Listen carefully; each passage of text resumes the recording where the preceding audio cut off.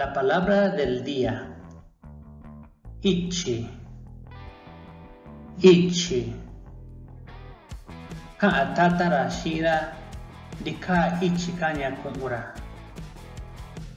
Ka atatara shira dika ichi kanya kumura.